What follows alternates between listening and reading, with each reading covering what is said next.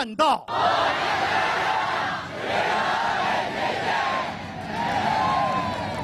博兴太美了，博兴太好了，博兴人太幸福了。这样的好地方，我们值得被推荐，把它推向全国，推向世界，好不好？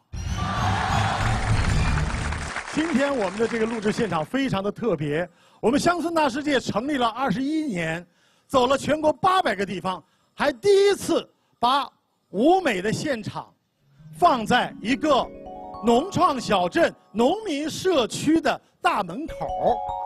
为什么呀？因为我们一到了博兴，就说这个农创小镇的博兴人活的是最幸福的。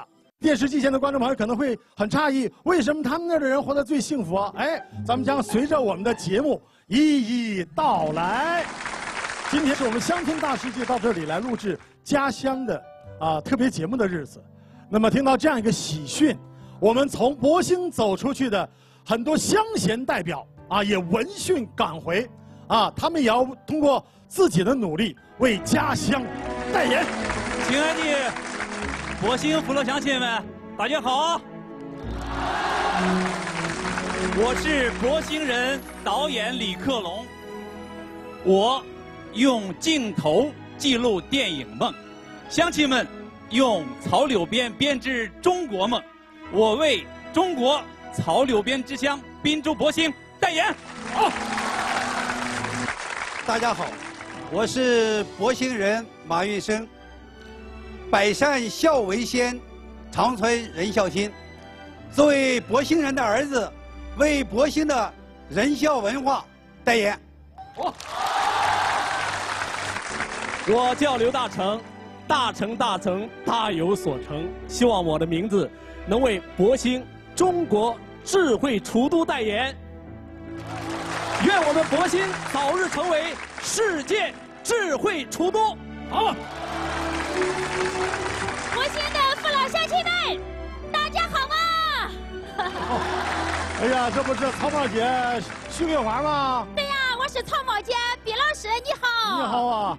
哎呀，你拿这么这么长这个大藕就上来了啊！哎呀，今天呀，我要为咱们麻大湖的九孔白莲藕代言。嗯，一口藕丝长，馋坏少年郎，大家都来尝，这藕实在强。哎，博兴的父老乡亲，大家好。哎呀，这不是菜花甜妈吗？对呀，我是中国的苏丹大妈，个又甜又美，我又红，所以说为咱们博兴的西红柿代言，你觉得好不好？老乡们好。这是何方神圣啊？家住博兴，行动名对，东郎娘子。哎对对对 你别冲着我叫娘子啊你家七仙女可好啊？啊，谢谢挂念。啊她现在做草柳编生意。这个开始改改做草柳编了啊！俺博兴是旅居的发源地，啊，现在我们的旅居啊，命名为国家级非物质文化遗产，是中国十大剧种之一。俺为滨州博兴绿菊代言。哦，我们来介绍一下几个圆桌的优秀代表：山东博华高校生态农业科技有限公司的代表们。大家好滨州市唯一一名之前模范代表，参加2015年抗战七十周年大阅兵，现今94岁高龄的康贵田老人，及他博兴县吕邑镇老年公益的伙伴们。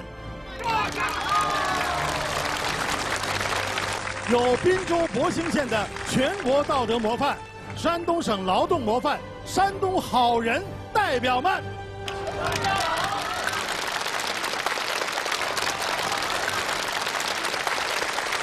哎，我说导演，傅玉龙回来了吗？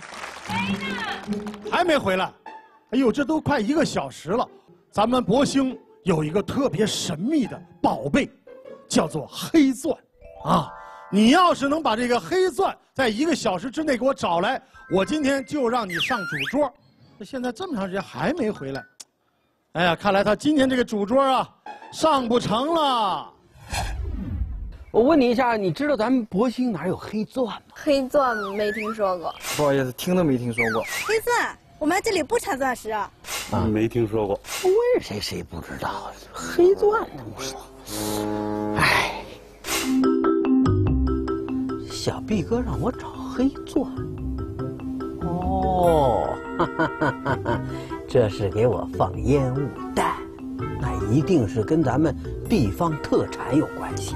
我多聪明啊！哈哈，哎呀，那咱就找这个博兴的农特产品，有的放矢啊！师傅，奔咱们博兴农特产品店啊！哎呀，黑钻。哎，服务员，你好，我问一下，咱们店里边有没有咱博兴的农特产品？农特产品太多了，你像我们博华的九孔白莲藕，是纯天然大自然的味道，口感特别酥脆，是博兴卖的最好的藕了。不是，但是好是好，但是我不要这白的，我想找那个黑的。黑钻有吗？黑钻，呃，它是西红柿呀。不不，我不要西红柿，我找黑钻。黑钻，黑钻就是西红柿啊！黑钻就是西红柿啊！对呀，这这哪哪个是？它是在博华农业生态园，在大棚里。博华农业生态园大棚里。对，好，再见。谢谢。好。哎呀，哎呀，嚯，终于到地方了。我呀，一会儿得好好看看这个叫黑钻的西红柿到底长啥样。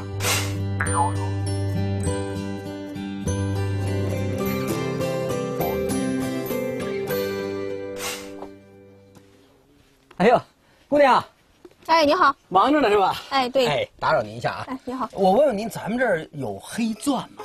哎，有，有啊。哎，对，有。太好了，那您给我指点指点，哪个是？你看一下啊，这就是。这，这个。哎，对，这就是你要找的黑钻。这这哪是西红柿？你你逗我？因为你看它这个颜色，它就像黑色的钻石一样，就比较这个晶莹剔透，所以呢，我们就管它叫做这个黑钻。我能不能那个带走点这黑钻？可以啊，没问题啊。你这样，你到我们这个游客服务中心去购买就行。哦，还得买呀？对呀。不，关键我是从那录录制现场赶过来的，我是身无分文呐。要不然这样吧，呃，我这边呢正好有客户要这个黑钻。哦。你这样，你帮我摘满这两个小桶，然后我可以让你带走一部分。你看这样可以吧？劳务输出。啊，那我就开始摘了啊！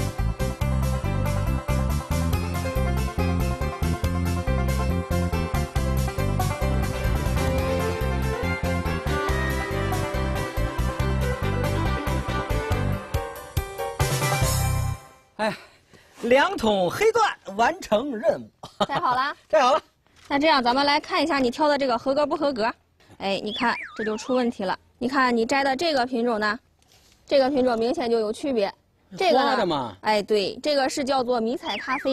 迷彩咖啡。哎，对，因为它这个表面有一层就类似迷彩的这个花纹。对，看出来了。这个呢叫做黑美人，它这个是呃果形会稍小一些，颜色呢是这种深褐色。我这一着急，我这为了赶时间，你看就就疏忽了。哎，那怎么办？你这样，那你再进棚再摘一点吧。我再再再再摘点对呀。哎呦，那时间紧，任务重，我得快点。快点吧。好了，嗯。好嘞，等着我啊！好，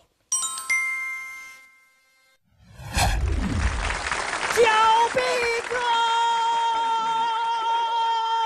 哎呦我去！小毕哥，小毕哥，小毕哥，哎呦，回来了！先跟大家伙打个招呼，我是傅玉龙，掌声都没有啊！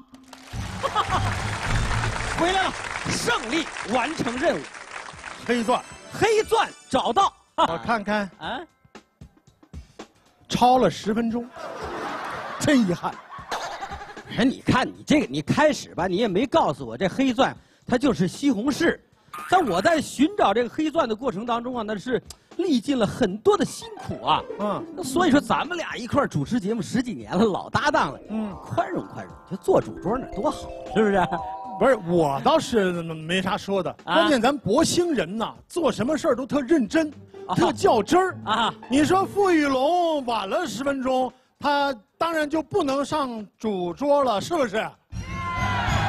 哎，你看，这是大家说的，不是我说的啊。小毕哥，大家好，我是陆遥，可以鼓掌。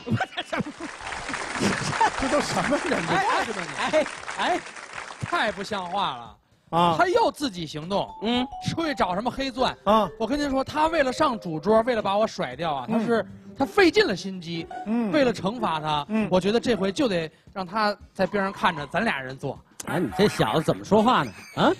有一句老话说得好，哪儿凉快哪儿待着去，为你们好。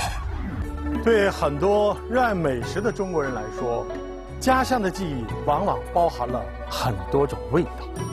即使远在他乡，熟悉的味道也能立刻勾起对家乡的思念。对于那些身在异乡的游子来说，能找到家乡的味道，更多的时候。是一种奢侈。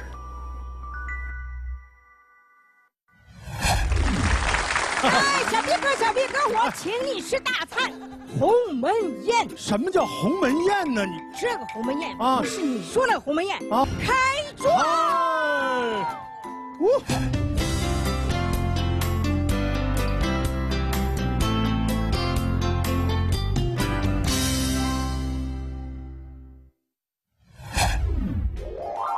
哎呀，仔细一看，嘿，这全都是由西红柿做的大餐，是吧？哦，这么个鸿门宴，我一看这个我就有食欲。这个起个名儿，你看一摞一摞的哈，咱就把它叫大红灯笼，行吧？这一下还吃不完，真香。嗯，嗯，嗯，嗯，怎么了？又又有点小酸甜儿，然后里边好像还放了点茄子的感觉哈，大红灯笼好吃。哎呦，这个太漂亮了，水晶水晶之恋啊，水晶之恋，啊，清晰透明啊，这道菜，我跟你说大家，我跟大家说，现在有一部电电影特别火，红字当头，大家说什么？红海行动。我觉得这个菜咱就起名叫《红海行动》，好不好？好。因为我听说，《红海行动》当中那个舰长，也就是张涵予扮演的那个角色的原型，就是咱博兴人，是不是？各位是不是也可以动筷子了？这还有个大餐吧？攒着肚子想吃最后这大餐，不揭盖他们不吃。小米哥，小米哥，小米哥，哪有大餐？大餐在哪儿？大餐，大餐。差一点就来晚了，不是不是不是中间那是吗？哎，刚才不告诫你们，就是哪儿凉快，请你们到哪儿待着吗？是待待着，我们也歇，我们歇的养精蓄锐，就为这大餐嘛。爸爸，给我给我双筷子，你打开，我看等等，什么大餐？大餐，有大餐不能说看就看啊，说吃就吃。为什么？啊，那得付出点来，这样，这样好不好？啊，你们要能猜出来我的问题，啊，哎，你们谁能猜出来，谁就可以吃这个大餐。行行行行，好吧，抓紧抓紧。猜我知道。哎呀，你够得着吗？准备啊，好，嗯。哎，哎呦，来五，赶紧看啊！五四三二一，哎，怎么又扣上了？我明白了，明白，我明白了啊！这就是分明是要找这个咱博兴西红柿的代言人呢。哎，咱俩咱俩最合适，我们俩合适，我们就他了，因为我们。这个博兴啊，滨州博兴是中国优质西红柿之乡，所以他是为了想先夸夸他，夸西红柿，咱们再代言，是不是？我夸西红柿，我跟你说一绝，嗯，而且为了来咱们滨州博兴夸这个西红柿，嗯，我自费呀，这个制作了一个道具，哎呦，那那我跟你说规格老高了，嗯，走走，上去跟我抬上来，走走，来，咱们到台上，咱咱坐下，咱坐下，咱吃菜，来，咱吃菜，咱吃菜，好朋友们，这个今天呢正儿八经的，大家看看啊。家乡讲坛，所以说今天啊，我还特别给观众朋友们请来了百家讲坛的著名教授啊，这个易中天，易老师，易老师你好。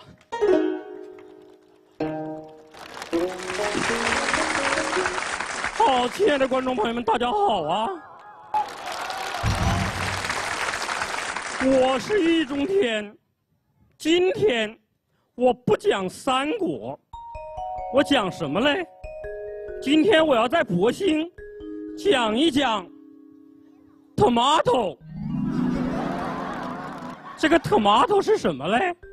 据《康熙字典》记载，大名叫番茄，这个小名叫西红柿，还有个乳名叫洋柿子。为什么叫西红柿嘞？据我研究这么多年，得出一个结论：西红柿，西红柿，是首先在西方红起来的一种柿子。如果大家觉得我讲的好的话，可以问一问崔永元啊。好，我们特别感谢，呃，这个易中天教授啊，讲用学术的角度来给我们阐释了一下。啊，什么是西红柿？讲的特别好，但是呢，作为主持人，我也不是特别了解。我们想听一听另外一位著名的学者啊，季连海季老师，呃，发表一下您的高见。亲爱的观众朋友们，大家好，我是季连海啊。你要说这个西红柿，谁最有发言权呀？这这个老老易不行啊，你得问老季呀。我就给朋友们讲一段。据清朝野史记载，说有一天啊，这个老佛爷巡查山东，啊，兴致很高啊，就问这个李莲英：“小李子，你说咱们全中国哪儿的西红柿最好吃啊？”这李莲英就说了：“老佛爷，这还用问吗？汴州博兴西红柿最好吃啊！”怎么样？推荐的好不好？代言人能不能当？谢谢。我实在看不下去了，是吧？这个季老师是是是吃闲着了，是怎么着？你干嘛？怎么着了？hold 着了？打了鸡血了？这是？没没没你什么事儿啊？没看家乡讲坛，我的地盘我做主。不是你你的家乡讲坛是吧？对呀。这盘儿是我做的。家乡书场，你也凉快会儿吧。来来来来，小毕哥呀，刚才他讲的这些东西啊，都太学术了，完全没有贴近老百姓啊。哎，哎，所谓什么叫贴近老百姓？咱说了，这个西红柿您弄回来干嘛呀？您得挑着挑上外面卖去，卖完了挣完了钱回家养家糊口，是不是？这个一般卖怎么卖呢？我给大家学两句这吆喝。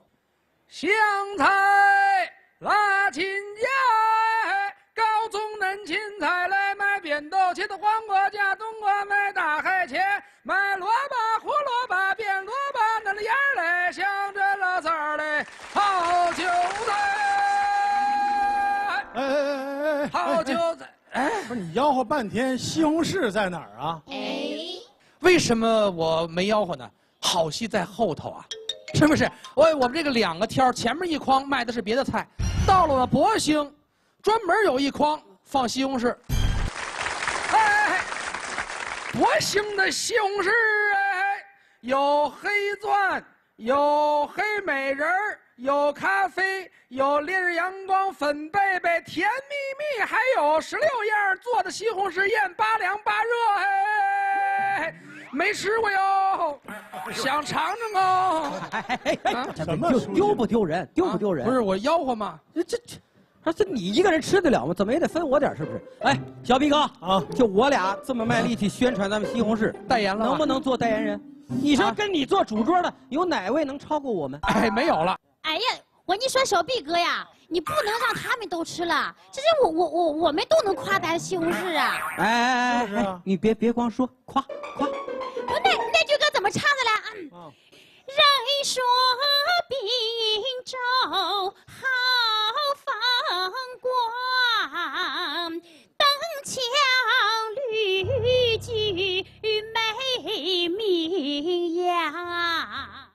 从故事传四方啊！哎，西红柿之乡传八方啊！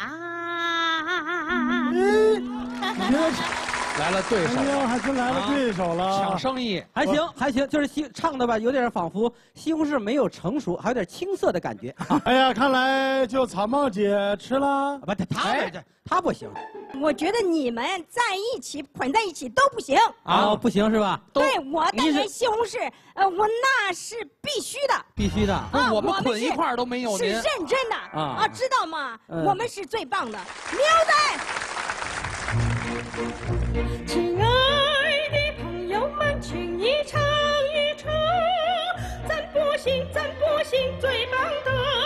番茄，菠绿派西红柿品种有很多，都是绿色的环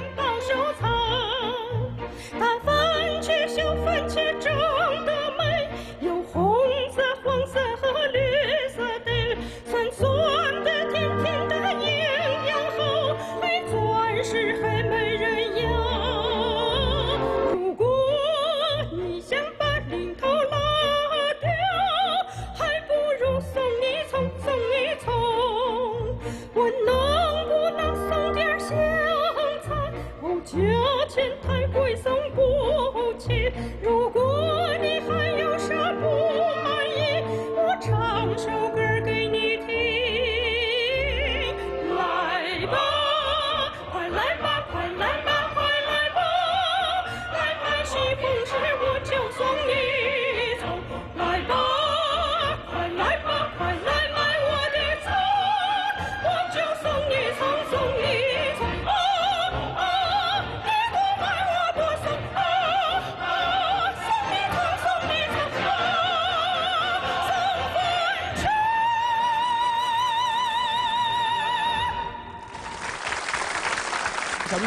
兵哥，您看我们都夸了，现在是不是这么这么着吧？我们几个分就完了，我们俩也不独占。我非常遗憾，你们谁都吃不到。为什么推荐的那么好，那么卖力气？不是，我刚才说了，谁能够说出我的问题来？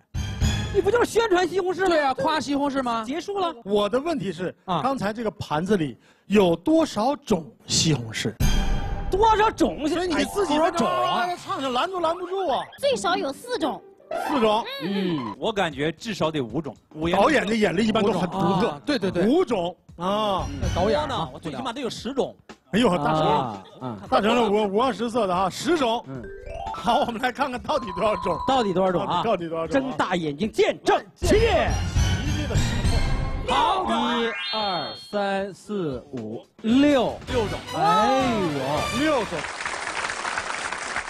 小迪哥，哎，我跟陆遥，我们这个 宣传推介咱们这个博兴西红柿，哎，这么卖力气，我俩是不是端走一盘？就就这个就行。那个，亲爱的朋友们，博兴的父老乡亲们，天热不热？有一句老话送给他们，好不好？凉快就哪待着去？告辞。这是民意呀。走了，两个多关心你们俩啊！这么热的天，你看。观众朋友们，送福利时间到！打开微信，扫描屏幕下方的二维码，回复“人孝博兴”，就有机会获得来自山东博兴的特色城市礼——海棠果酵素、富硒的蟹田大米、多种食用菌的大礼包。中国人啊，对家乡的眷念可谓是传承久远。那些漂泊异国他乡的游子。夜深之时，聊以抚慰的便是家乡的一山一水一草一木一饭一汤。那些草长莺飞，那些夏日流萤，便成为对家乡永不磨灭的记忆。哎，毕老师啊，啊，您刚才吃的我们这个鸿门宴感觉怎么样？好啊，没吃够啊。但是啊，啊，来到博兴啊，嗯，还有一道特殊的大菜，你必须要品尝，是不是？来来，赶紧上菜。好嘞，上菜。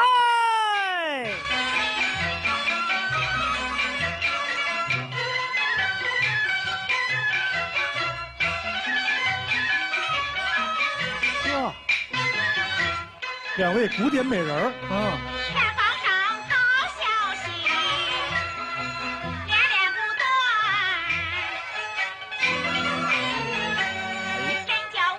时间就拿上来了。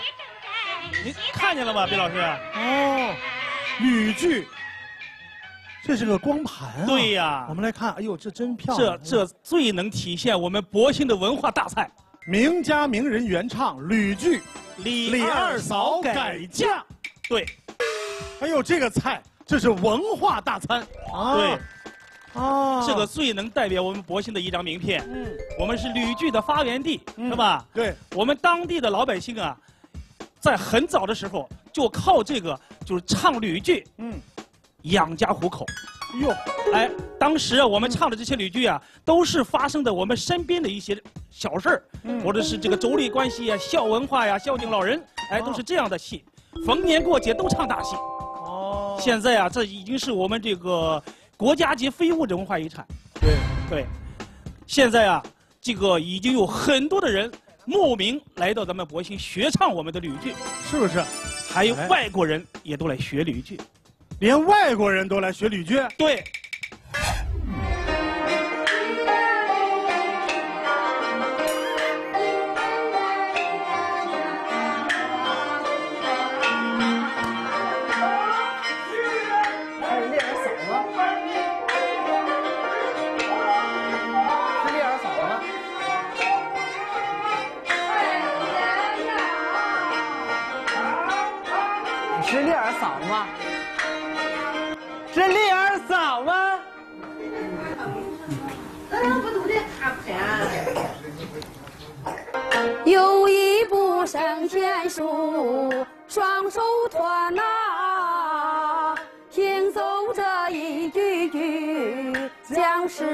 花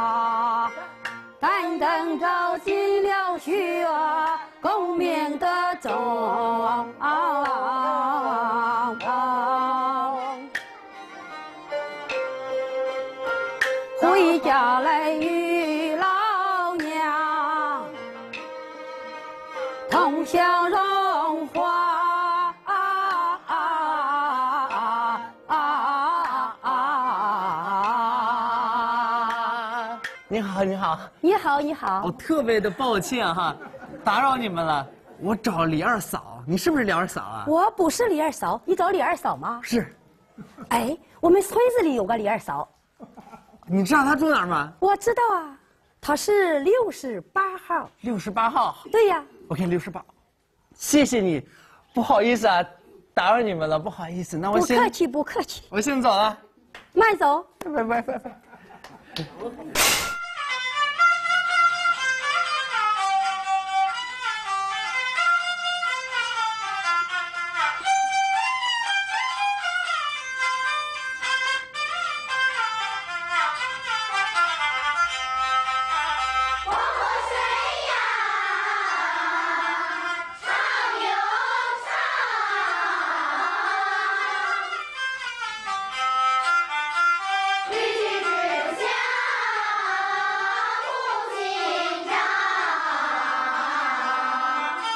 不愧是吕剧的发祥地，在这里学吕剧，从娃娃抓起。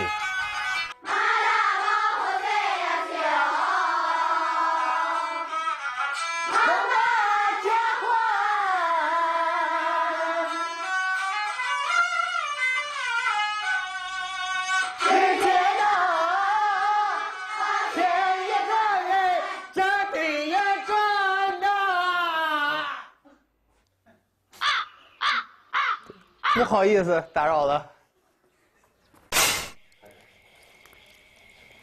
您好，可以问一下吗？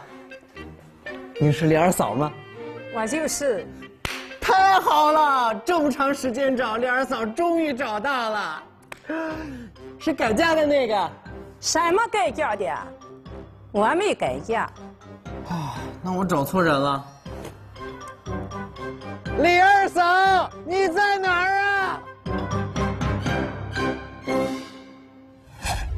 啊？小毕哥，小毕哥，小毕哥，李二嫂改嫁是？哎呦啊！我跟你说，我要要说到吕剧啊，我是非常有资格的。我们要代言一下，哎，最关键的是我们哥俩代言吕剧，那是最合适不过。实至名归，给你摆个造型，让你看看。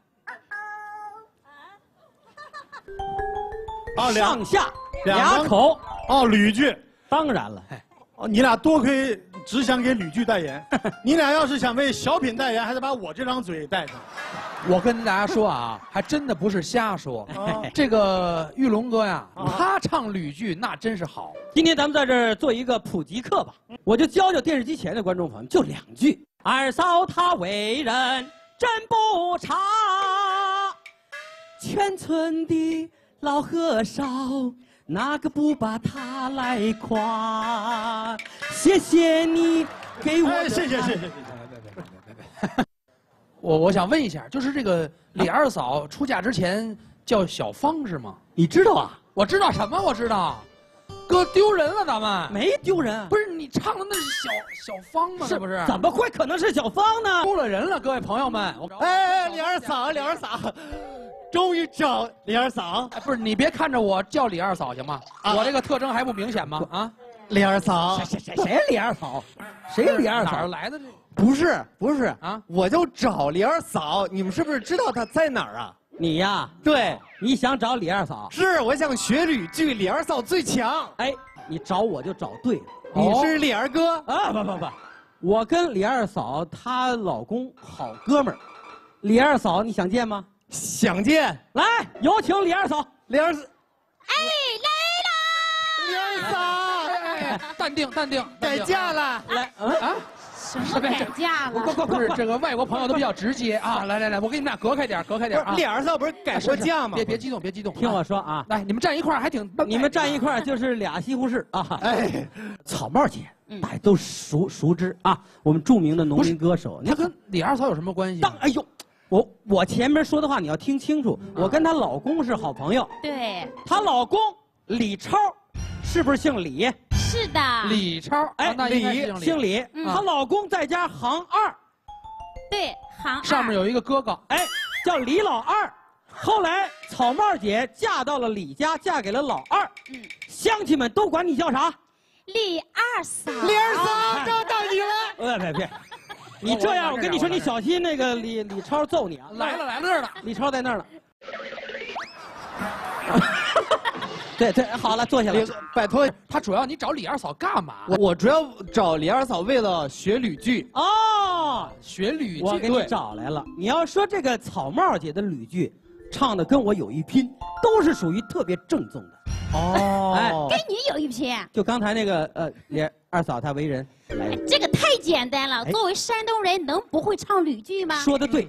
嗯，开始了啊。好。二嫂她为人真不差，全村的老和尚，哎，哪个不把她来夸？哎哎哎哎，二嫂二嫂二嫂二嫂，停，淡定淡定。这个是咱们吕剧吗？咱们是上小芳家聚会去了吗？不是，好像我们三个都是在一个班毕业的。是啊，这都都出不来这门了都。这怎怎么搞？那我怎么办呢？我得学吕剧。关键他那个调太魔性了，你不由自主的就一拐弯就进小芳家了啊！不，哎哎哎，我们出不来了。我真是实在看不下去了啊！不是，亲爱的朋友们，刚才扮演董永这位，啊，鲍鲍鲍老师，哎，这是咱们博兴县。啊，国家级非物质文化遗产吕剧的传承人。哎呦，学明老师，他应该也会。你说他在这坐了半天，你们这唱的真是驴唇不对马嘴的。我也是实在实在听不下去啊！哎，谢谢，鲍老师，你上上去给他们打个样。二嫂她为人真不差。啊！全村的，哎呀，怎么了这是？哎哎，都都怪是，你怪我干嘛？你你传承人，你跟我跑干嘛？咱们唱对了，咱们唱对了，脑子里都是小芳。那我跟你学吧，正正宗的。开玩笑，我能上你们拉钩里去了吗？啊！再 来哈，再来一遍啊，正的啊。二嫂她为人真不差，全村的老和尚哪个不夸？哎，终于唱，终于唱出了我的味道，哪个不夸？啊啊啊！好，好，好，好，行吧？哎，别说他唱的是比咱们啊好好一点哈，哎，好太多了，确实好，确实好。那个鲍老师，嗯，机会难得，你像我们是吧？来博兴呢也是第一次，就不如呢，您给我们就来个公开课啊，普及一段咱们这个吕剧里边还有什么名段行，我就唱四句。唱四句马大宝的前四句：马大宝喝醉了酒，忙把家还，只觉得天也转来，地也转呐，为什么那太阳落在那东山西呀？啊，月出正西，哎，明了天耶，明了天呐！哎呀，这好听好。我其实今天来的目的就是为了找到唱最正宗的吕剧啊！哦呃老师哦哦，看到您，我觉得我真的是不得不拜您为师。哎呦，这小子要啊拜师，对的，我可以啊等等等等等等等老师，哎，您能这个倒是好事儿啊。拜师这事儿是大事儿，这涉及到我们这个中外的友谊的问题，哎，文化交流文化流，交流传传播的问题。对对对中国文化要走出去，我倒觉得收一些洋徒弟不是不可以，对啊这也是中国文化走出去的一种方式。拜师也行啊，但是我有一个问题，你得回答一下。哦博兴啊，是汉孝子董永的故里。这个问题是这样的啊，董永，嗯，跟牛郎是什么关系？哎呦呦，就就这个问题，我这儿看，我这儿看，这这这知道吧？告告诉我吧。啊，来来来，兄弟，椰果兄弟，有我在，你把心放在肚子里啊！朋友们，正式的给你们在这儿做一个权威的发布。哎，要说这个董永和牛郎，又来了。哎，是不是一个人类？是吗？在这里明确的告诉大家，陆遥，你说，啊，你说，我不认识。你看鲍老师说的这个问题，说出来呢好像挺简单，实则呢现场这么多八零后、九零后，我还真觉得不一定就能够答得出来。到底这个董永和牛郎，嗯，是不是一个人？啊，这是两个故事。哦，那么接下来呢，咱找一个高人，告诉大家。什么？你问我董永和牛郎是什么关联？我说你算问对了高人了。有很多种版本，有很多种说法。有人说，这七仙女和织女是同一个人，所以呢，这个董永和牛郎就是同一个人。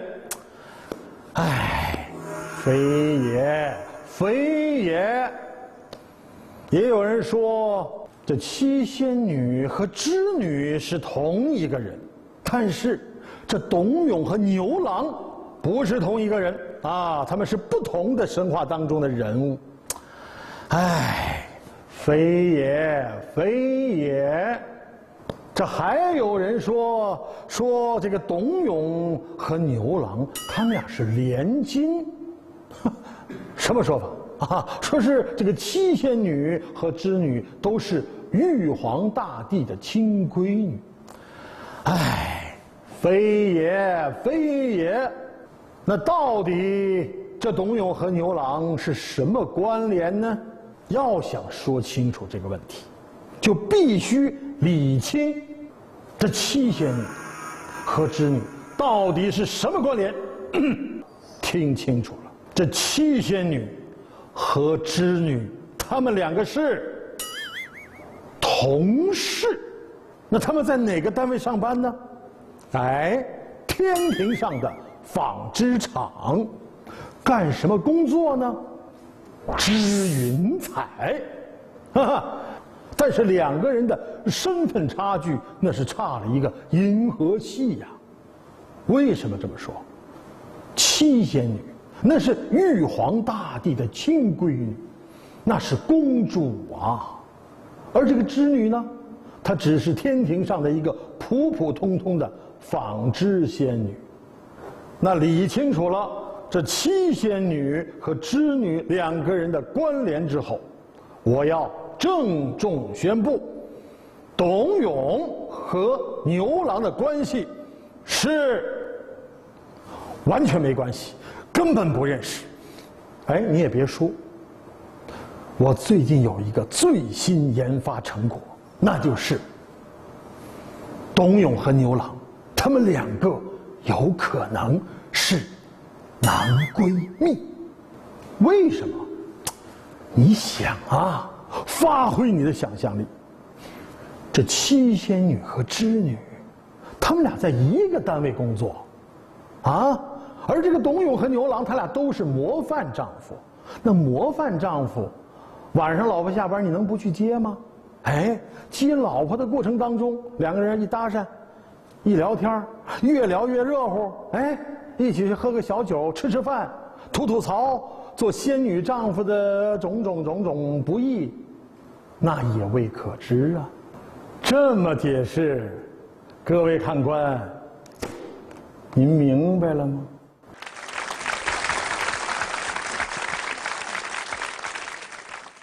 哎，吃了两道菜了，欢迎毕老师来到我们博兴啊。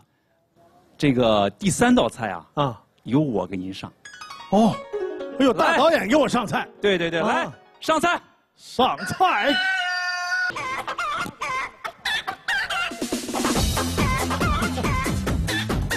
哎呦哈，哟哈，这么隆重啊！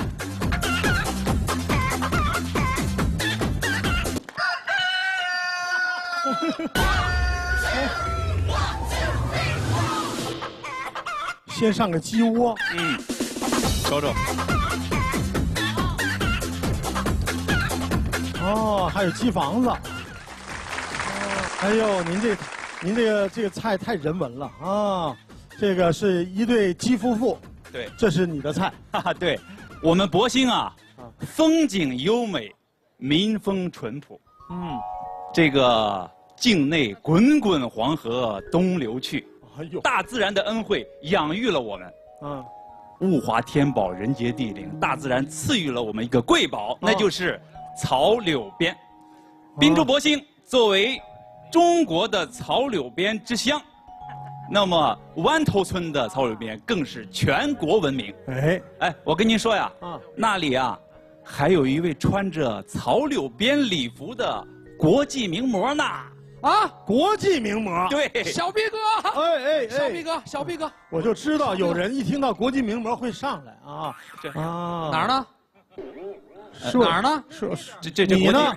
说你呢？名模。你你要见他干嘛？我想跟他交流。就是我怎么才能变成跟他们一样？国际名模交流。哎，哎，刚才听那个李导说，我听李导说了，湾头村嗯有一个身着草柳边服装的哦国际名模，在那里，你去找他，我去找，对，保证完成任务。朋友们，掌声欢送！我去了，我去了。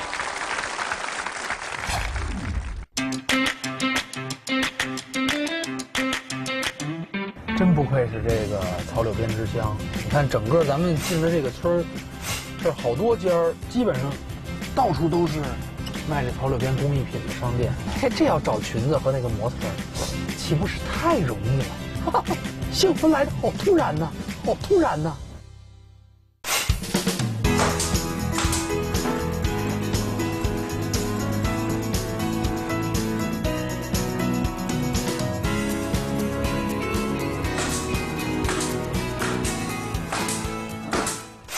大姐，嘿，打扰您了啊！您知道咱们这附近有一个这个国际名模吗？知道。哎呦，太好了！那您能带我去一趟吗？我正在干活，还忙，还忙，还忙。哎，你别说，这个挺有意思。这个做完了是墩子是吧？对。我们一般人编不了吧？你试试吧。可以试啊。嗯。哎呦，谢谢谢谢。啊，就是这样一直编，嗯，这样记一下是吧？您看是是这意思吗？不对了哈。你看我一猜我就不对了。那要像这个速度，一天也编不了几个吧？能编俩两个。就这样的一天能编两个墩子。啊，这要等您俩编完了，咱们就天黑了吧？您能赶紧带我去吗？因为我觉得时间好久啊。走，我领你去。谢谢大姐，谢谢大姐。在哪儿？远吗？不远。那往哪边走？这边，这边哈。好，在哪儿呢？这是方的，这是圆的。模具呀。啊，你不就说的是这种？不是，您误会了，我我不是说模具。就是那个很时尚，长得也很漂亮，身材很好，一走道这样。你说的是模特啊？对对对对，模特。咱这会儿你没有，我还还忙，我得去干活去了。啊？只有模具啊？您好，哎，你好，你好，你好，你好，这个忙着呢哈。啊，对对对。啊啊啊！玩游戏呢哈。啊，没有没有没有，不是玩游戏。对对对，怎么的聊天呢？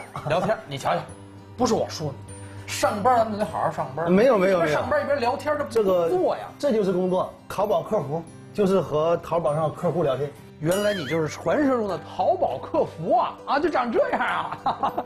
我是想啊，上网查查，借您的电脑试试。我查查这个，就是咱这附近，您听没听说过有一位这个国际名模，走国际路线的，时尚前沿的那种，穿草编裙的。这个草编裙我还不是很清楚啊。哦，这个对对对，这个，但是我曾经见过这么一单。那个你可以去那个物流上啊询问一下。行行行，对对对。哎，像您这个淘宝客服在咱们这边淘宝店多吗？咱们这个村有八百多户吧。那就是背后有无数像您这样的淘宝客服啊。对对对对。行行行，辛苦了辛苦了，我上物流找找去。好好好，谢谢啊。好的，见好的见。哎，您好，师傅。哎，你好。打扰您一下。你好。想跟您打听点事儿。嗯。就是您知道这附近有一个穿草柳边裙子的模特吗？呃，草柳边裙子我知道，模特没见过。见过裙子是吧？对，裙子我知道。但是有了裙子，估计模特也不远了。这边估计物流应该挺忙的吧？大小的物流有五六家呢，快递有二十五六家的。方便带我去看看那个？我带你去我不方便，告诉你一个线索吧。这样出去，这样出了门，嗯，往西。得嘞，那您先忙着啊，谢谢谢谢。王贵，好嘞。哎，您好，打扰您一下。跟您打听个人，您知道那个王桂芝大姐在哪儿吗？啊，甭问了，我就是。太冒昧了，不是，这哪是大姐呀？这绝对是妹妹呀！这我一看也就十八呀，这啊，您过奖了。而且我听说您还有一个特别得意的那草编裙啊，啊，是不是？还有据说是这个很国际化的一个国际模特都特别喜欢，老穿着它出去走秀去。对。啊。是不是啊？衣服和模特在哪儿呢？节目组拿走了。您瞧瞧，得那我先回去看看去。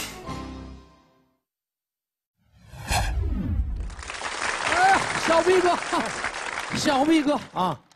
哎呦，国际名模呢？名还名模呢？啊！我跟您说，去晚了，去晚了。真的，我磨破了一张嘴，跑丢了三双鞋，哎呦，腿都跑折了，腿肚子现在都朝前了，没有啊，没找着。哎呀，你看，你看，你看，把他这，可笑啊，可笑！陆遥，来来来来来来，我听说你去咱们这个啊滨州博兴有一个。中国草柳编之乡湾头村啦，对，找国际名模穿那个草柳编的国际名模嘛，没找到。他说他来现场了，你这这这，哎呀，你得提前跟我沟通一下啊啊，还用去那儿找吗？不是我们模特界的事儿，你也参与吗？我们模特界的事儿，你你这你确定你是模特界的吗？啊，你这不魔怔了吗？这是，你那个找模特啊，我们博兴啊，这个名模遍地都是。是吗？到处都有。哎呦，有吗？曹柳编的名模，我跟曹柳编的名模，哎呀，那简直就是男闺蜜、女闺蜜都有啊，朋友。这在在哪儿呢？让你开开眼好不好？有真有啊！让你开开眼，原汁原味的我们曹柳编模特怎么在这个舞台上展示他们的魅力？我请上来吧。来音乐，music。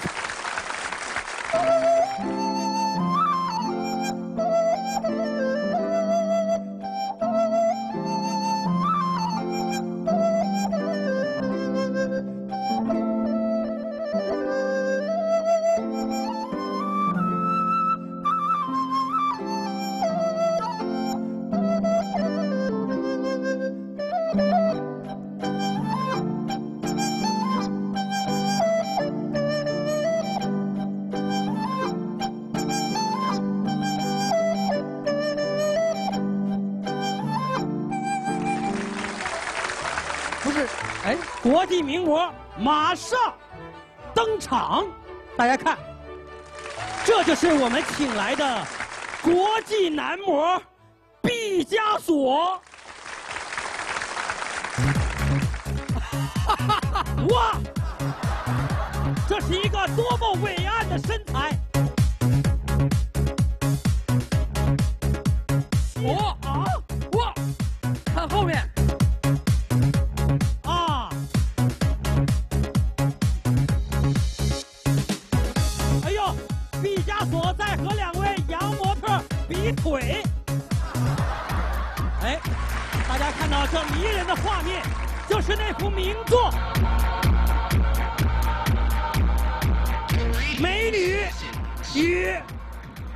毕加索。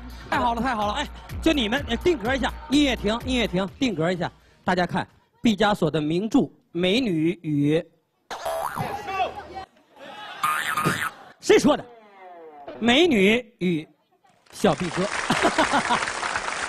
我说请来了世界名模，我也没说他俩就是世界顶级的世界名模啊。不是，他俩很顶级啊。还有比他们更顶级的吗？我名模吗，你你你，比如说。你主持咱们三个，这是大咖，是不是？他最最后得登场啊！对啊，主角最后才是那个最好的。就是还有，哎，大家想不想看看顶级世界名模？这话，这衣服，就这衣服一般，不是一般的衣服。哎呀，哎呀，你看看这名模，走出了大秧歌的风格。太棒！你都没见，人家都走猫步。哎呀，我跟你说，你看这个功这功夫哎，这不动啊！哎，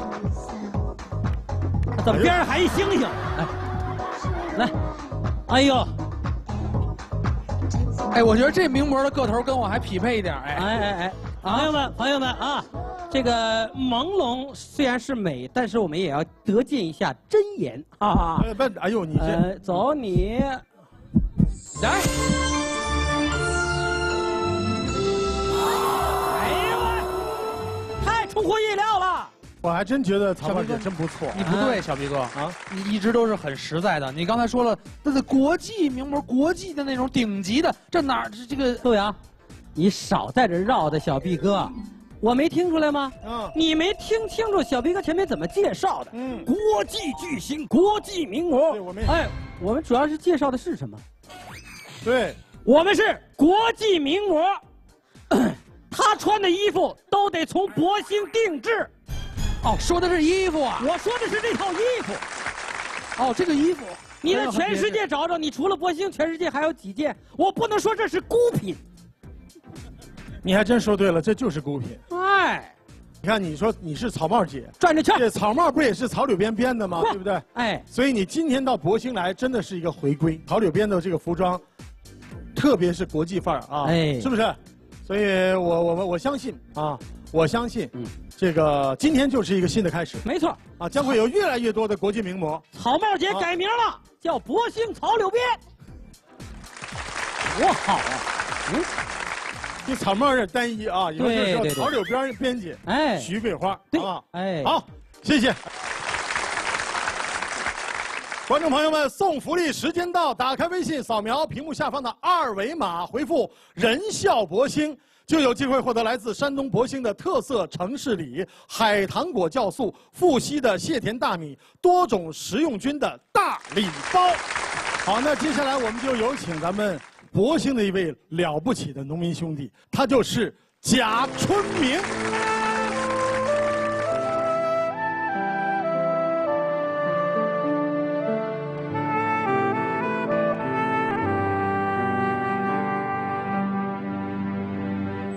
一座座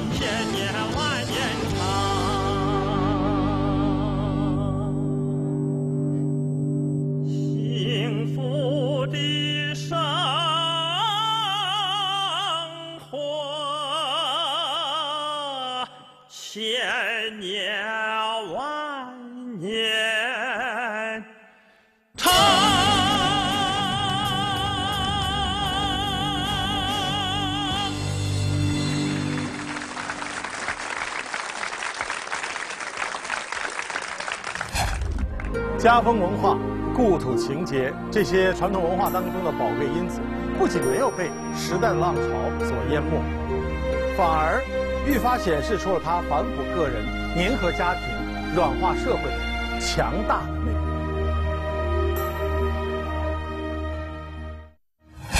好，那接下来我们要请上今天的第四道大餐。你好，小伙子。他没法回应我啊，呃，因为这小伙子啊没法说话。你好，小伙子，向大家来介绍一下，你叫什么名字？我要去睡觉。今年多大了？那年六岁。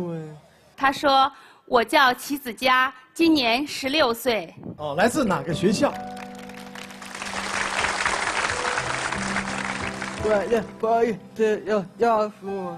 他说：“我在博兴县特殊教育学校上学。”今天，你给我们拿上来的这道大菜啊，我们一看是一幅作品。这个作品是你画的吗？我希望我那那么我那么是绘画我那么。这幅作品是妻子家自己画的，很有才啊！鼓掌，我们送给他好不好？这幅作品。是要送给谁吗？马伯伯。送给马伯伯。啊，送给马伯伯。呃，为什么要送给马伯伯作品呢？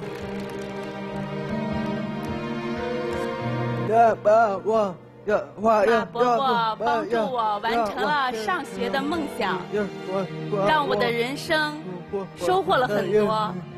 他感谢马伯伯。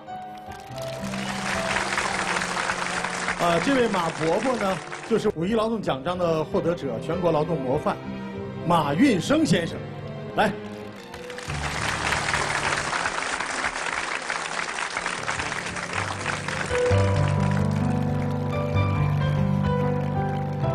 哎呦，我们这个，所以你来做人效文化的代言人，我相信你背后一定是有故事的。啊，看来你帮助了。这么多年来一直在帮助我们的特殊教育学校，是吗？是的，也可以说是代表博兴县，呃，有善心善举的人。那么，为了有些有，呃，在不同方面，那么有这种身体不是太完整健全的人，那么实现他们这人的一生，说的他们的学业。和他们的追求，所以说也不需要需要孩子也不需要感谢我，那么应该感谢我们的国家，感谢我们的党。我觉得这个善举特别了不起，我们来看看这幅画啊，真的送给您的画，真的，你看孩子这工笔画的多好啊，画的好，画的好。哎，画的真好哈！对，所以活灵活灵活现。我们又怎么敢说这样一个这个这个孩子将来不会成为一位优秀的大画家呢？因为他心中的美一点也不比我们普通的孩子缺少，是不是？是的。其实我们也知道，马总那个，其实你不仅仅帮助了像小齐这样的孩子，你也帮助了很多的老人家。这个小区里边住的都是我们在七十岁以下的一些我们这个鲤鱼镇的农民朋友，那对门呢住的就是七十岁以上的啊老人啊，在那里安度晚年。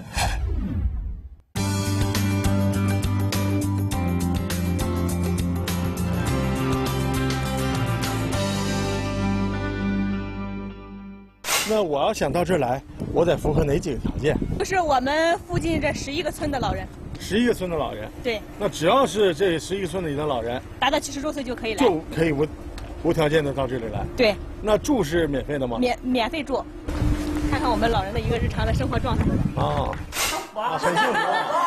地主共产高高的脸啦。哦。啊，跟老马的力，俺这都还好。老马的力。哎，对，老马原是啊。老马的力。马老师啊，俺这真是。那老马是谁呀？呃，我们公司的董事长。哎。啊，老马，你们都管他叫老马是吧？哎。见面也叫老马。哎。行，哎。到你家也来看看啊。炒的虾酱。啊。啊。哎。哦。好的是吧？哎呀，老人家，您是石家好儿媳啊。这是的还好，哎呀，叫的这个花的。哦，这是您婆婆是吧？哎，婆婆，活到八十九。啊，活到八十九。哎，哎呦，那我得向您这个鞠躬。您这是好。一个儿子，你不孝顺个笑话。哦，不孝顺个笑话。啊，不孝顺个笑话。这收入呢？收入跟以前相比？收入也有。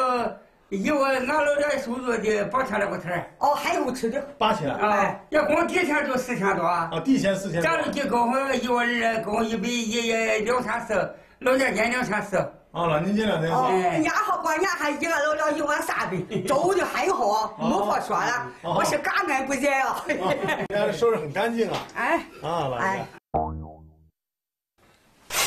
喂。你好。哎，你好。我现在要是心脏不太舒服怎么办？我们立马会过去。哦。你是？我是三零九，您没显示吗？啊，有显示，我问一下。不像老人。你是不是感觉我口音不太对是吧？不太像老人是吧？啊，你们这是二十四小时在这值班是吧？对对，二十四小时值班。好。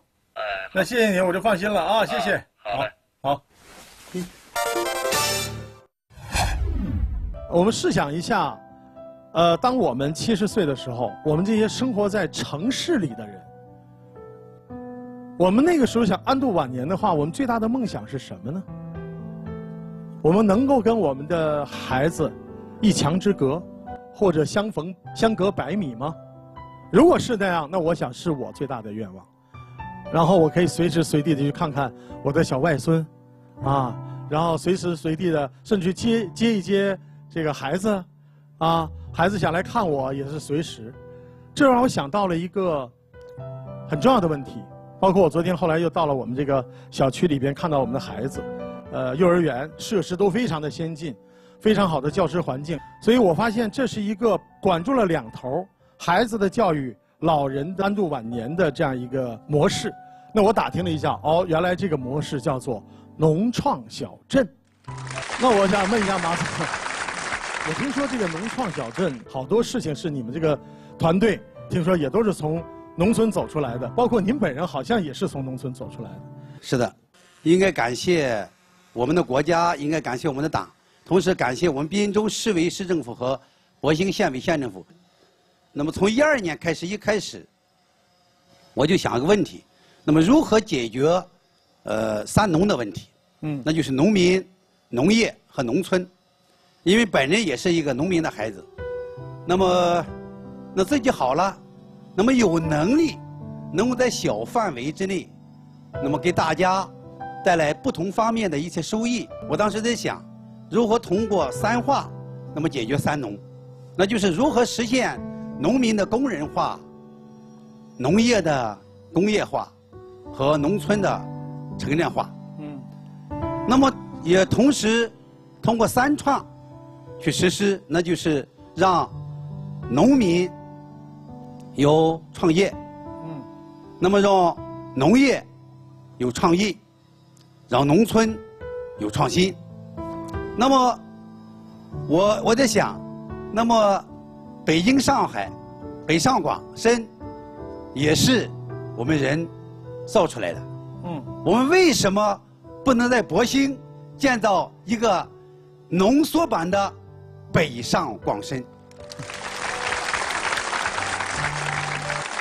好，那现在我们把目光转向我们李导。李导，我听说你是前年做了一件事儿哈，好像请了你的一部电影，你请了六百多位老乡，然后来看电影，你拍的电影，是吗？对对对对。叫什么名字那个电影？呃，一三年我拍了一部电影叫《花咒》。呃，然后在上映的第二天，我就在咱们博兴包了一个剧目厅。啊，剧目厅。对，请这个博兴的父老乡亲们走进影院去观看了。免费看电影。免费看电影，对。怎么想的？嗯，是这样啊，我从小啊就有一个电影梦，是父老乡亲们帮助我走向北京，实现了我自己的梦想。我们村里啊那些爷爷奶奶、叔叔婶婶们，这一生都没有走进过电影院去感受一下现代化的这种观影效果。他们可能是在露天影院，我小时候也是露天影院。很多孩子们。不像城里人、城里的孩子一样啊，都连电影院那爆米花什么味儿都没尝过。嗯，我想拿我的作品与乡亲们分享，更想把我追求梦想的这个火把传递给更多的博兴娃。嗯，呃，感谢感谢大家啊，感谢。呃，我想拍摄一部电影。叫大汉孝子董永，用电影来将我们博兴人的仁孝、勤劳、智慧、可爱呈现给全国观众看，怎么样？我觉得老马、李导他们呃作为博兴人啊，通过不同的方式在想着为这片土地、为这片土地的父老乡亲啊去做些什么，来回报家乡。呃，我听说老马最近好像是在酝酿一个听起来让人觉得似乎是很不可能，但是你又充满信心的一个计划，是这样的吗？给他们给我们透一透？呃，其实 也不是什么秘密，我是问一下县里，统计一下，咱县里九十岁以上老人多少？只要他家里愿意。舍得，我们说好，对吧？嗯，我们都可以提供在这儿提供九十岁以上老人免费入住的环境。那如果说老人需要照顾，希望家里的子女轮流值班来照顾老人，或者说。拿点经费，那么让雇专业的人去替他照顾老人，也可以让这些老人在我们提供的这种居住环境里去享乐、安度晚年的生活。好，谢谢。谢谢，请坐，请坐，请坐。我我真的觉得，老马，你就是我眼中的当代董永。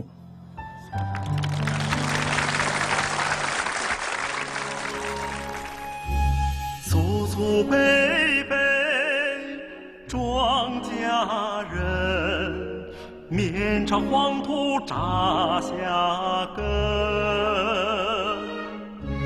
一心为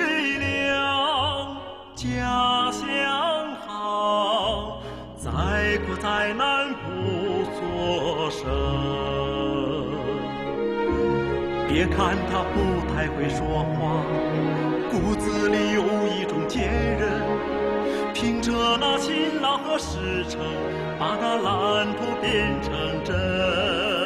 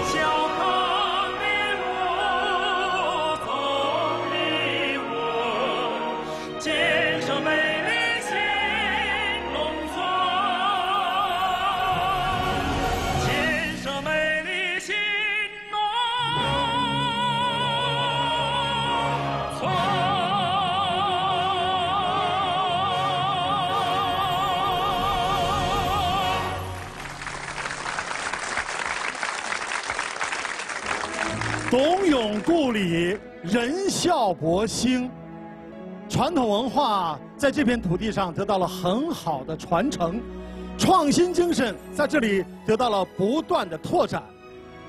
这片土地上记录着家乡的变迁，但通过这片土地上人们的共同努力，我们更加坚信那样一句话，那就是幸福是奋斗出来的。再见了，热情的博兴人，我们相信在你们的共同努力下，我们的博兴一定会建设的更加博大兴旺。再见。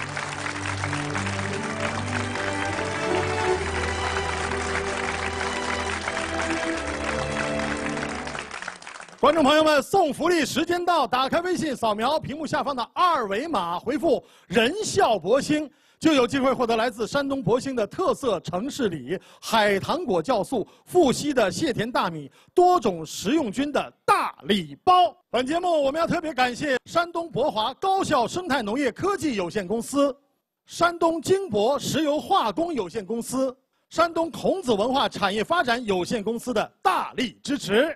想了解节目更多内容，请关注我们的官方网站农事网、农事网官方微博、微信移动客户端以及央视网查询浏览。我见过二百多条龙，这条竹龙是我见过的最美的竹龙。长宁凉糕是怎么来的？我说不出来。我们不说，并不是我们不知道，是我们明白。我们是要用另外一种方式。